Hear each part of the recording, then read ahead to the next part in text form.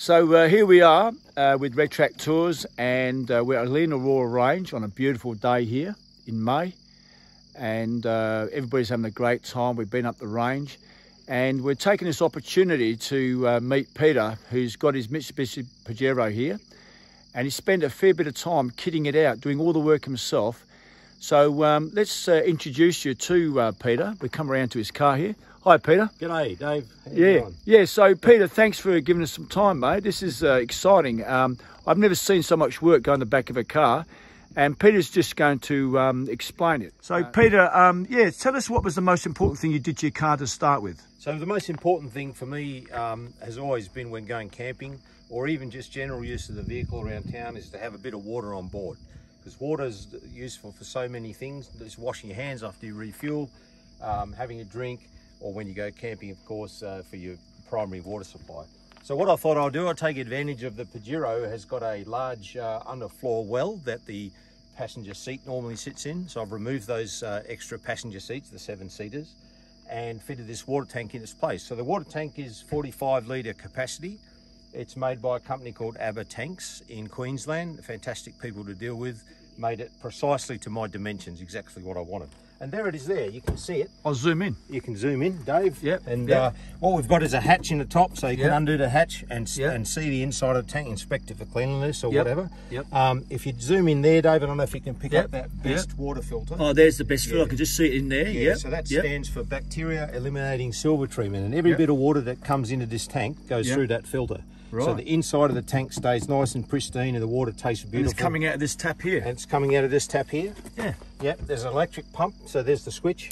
Okay, so we yep. go over here. That, That's the switch. And you just, did this all yourself, Peter? Yeah, wired it all up and, and got it all working. Yeah. And uh, that's and the main switch for the pump. The pump sits in here as well next to the tank. Yep. And then when we flick the taps, you know, we get a nice water flow.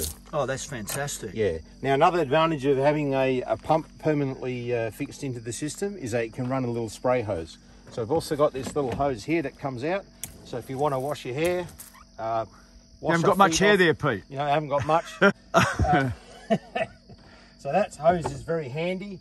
And uh, we've got a water level gauge here, which is a standard RV. You find yeah, that on many campers. Oh, yeah. yeah and uh, yep. this gauge here is really good. It's a flow gauge. If I hit that tap, you put your camera down a bit yeah, lower, yeah, yeah. You see, that tells me how many litres I've got left in the tank. Oh, wow. Very important to know because wow. as you're using water all the time, you get into the habit of knowing exactly how much you got left, particularly when you're free camping like we are today with Redtrack Tours. Yeah. We need to know how much water we got and how many more days we're going to be here. Yeah. So that's a very valuable piece of equipment.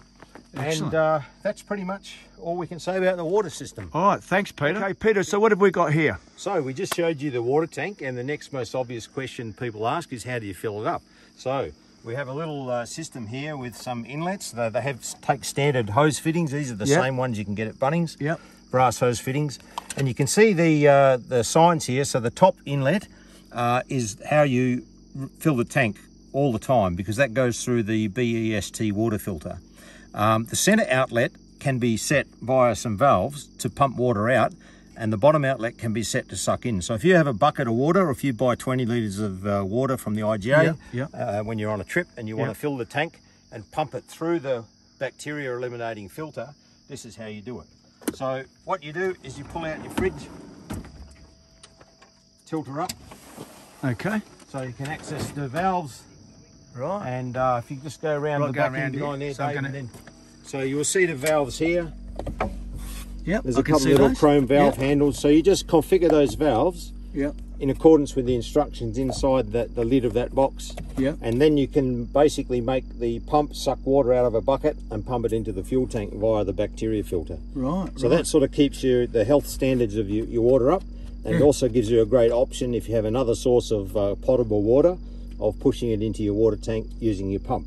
Right. Which uh, you gotcha. might not have access to high pressure hose to, to yep. fill the tank. Yep. So that's the way you can you can do. It. And you've got easy access because this fridge slide here tilts over. Yeah. That's brilliant. So you're going to push it back for us now, yep, Pete, I'll so we can it see how that works. Just make sure that cable behaves itself. So we tilt that up, slide her in. Right. And that lock, locks in like that. Excellent. And then uh, you, your little cover goes back on to close up your valves. Right. So there you go. That's Thanks. how you fill up the water tank. Thanks, Peter. So that's great, Peter. We've gone from the water system now, and now we're going over to another very important thing, and that is the power system, the 12 volt power system. So you can tell us a bit about that. Cool, thanks Dave. Okay, so one of the criteria that I uh, had for my build is that I didn't necessarily want to be always carrying around spare batteries and extra weight when I'm using the vehicle around town.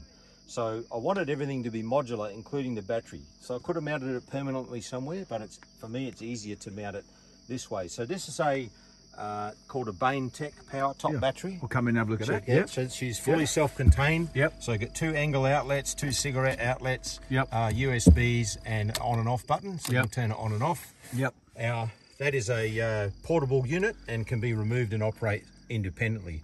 But it's also solidly mounted in this box here. And plugged in at the moment is the fridge on that left uh, Plugged socket in at the moment is the fridge, and as you can see, because we've been running around today, she's still at 12.6 volts. Excellent. So one of the important things with having a spare battery on board is how do you keep it charged up? So what I've invested in is a little Redarc DC right. DC This, this is interesting. battery charger. So here it is, right here. It's This a is it. DC DC 1225, Yep. and that has uh, capacity for solar input as well as alternator or vehicle input. Yeah.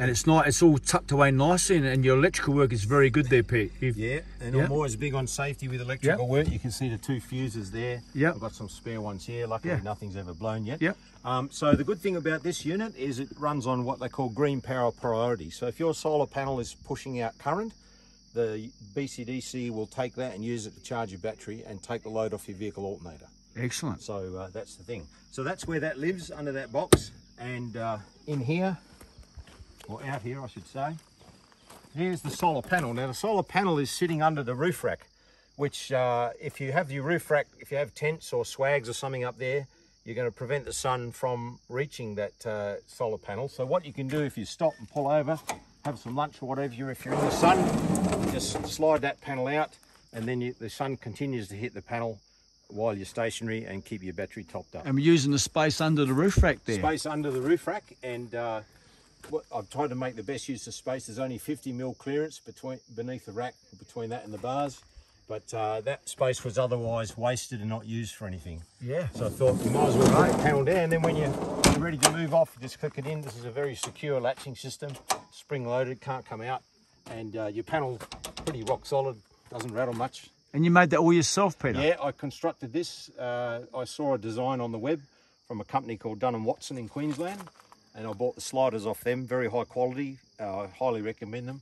And if you want to make your own, or you can buy one of these uh, slightly lower wattage, 100 watts. Yeah. You can buy the complete unit for $700, I think they sell. Right.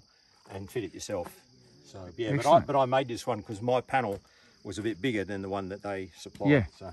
Oh, that's excellent. Yeah. So that's the that's the 12 volt system. That's the 12 volt system. The only other thing I could add to that is that um, basically here, this these switches here all operate off this battery, so they're not draining your vehicle battery. Yeah. These work lights come on off the main vehicle battery, as does there's an outlet in there. The water pump runs off the main vehicle battery. Yeah. That's it. Uh, Peter's now going to talk about the modular drawer system that he's put in the back of his car. So um, tell us a bit about it, Peter. Right, so with uh, camping, of course, and overlanding, you need somewhere to store your gear. And drawer systems are very convenient, uh, quick and easy to do that. Uh, but what I find is that they're actually quite heavy. Even the uh, off-the-shelf ones you get are heavy, heavily constructed. And you don't really want to be carting them around in your vehicle all the time. You want to be able to fit them in for a trip and then remove them easily. So what I've done is I've acquired these. These came from uh, BCF. They're an XTM brand. They're quite well made and uh, quite solidly constructed. They're modular and you can easily remove them.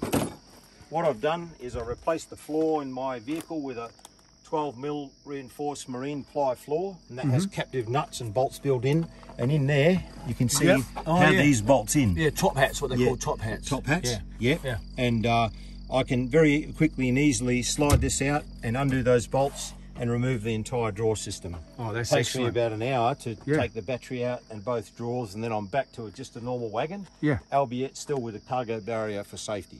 excellent. And one of the other uh, great things about this is that these wings here can stay in and all of the water pump and everything is unaffected. So that all just sits beneath the floor and you can use it continuously if you like. Excellent. There's a small table here which is very handy. So you can drop that down You can make yourself a cup of tea. You can use this cutting board here. Cut yourself a piece of cake or whatever. You make a sandwich uh, while you're stopped on the side of the road. Very quick and convenient. All this stuff stays in the vehicle, so you don't always necessarily forget it when you go on a trip. And you've got your hand uh, detergent there Got and the soap fire there, got extinguisher. the water to wash your hands. If there is a fire, heaven forbid, you've got one there. Got Yeah. a fire blanket up there as well. So yeah, I'm pretty big on trying to keep things safe and and do things the right way. And then when you're finished, you can just quickly pop that up and lock it in, and it doesn't rattle. And I see you've got a couple of speakers there to set the uh, mood your, there. There's your thing. So when, you, when you're doing the Jamie Oliver thing, you know, you've got your apron on and Yeah. your G-string, you're Yeah, cutting up yeah. the sausages, and there you go. You got the music pumping at the same time. You've um, you've used um, all the space up very effectively here, uh, Peter, haven't you? Yeah, I've certainly know. tried to. And, And there uh, goes the drawer system going back Yeah, in. that's very quick and easy to put in. Just line it up, give it a shake, and there it is. And the good thing about these, you can buy these. These are worth their weight in gold. It keeps all your bits and pieces together. Oh, when right, somebody okay. wants it, you Oh, can rip excellent. it out. So here you go. Oh, excellent. And you can categorise what you keep in them. And I highly recommend these. You can get them from all sorts of different places. Yeah. I got them from Go Camping in Balcatta Right. and uh, made in Australia, top quality canvas. And they're so useful because everything stays together and you know where it is. So yeah, it's in the right hand drawer.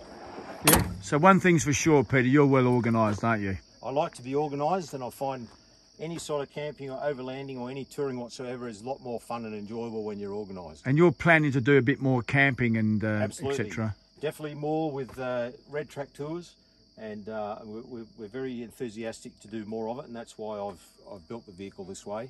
And uh, But it's also my daily driver so it needs to be versatile enough to do how to do that. And we're all looking forward to going to Karijini National Park. Karijini, living the dream. Yeah, good on you, Peter. Thank you.